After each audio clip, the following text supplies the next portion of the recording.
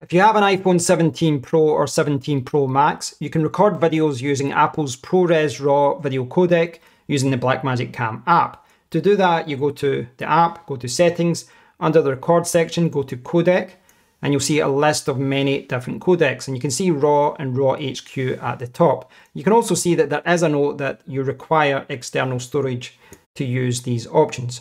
And that's what I have here. I've got a, an SSD from Zeek.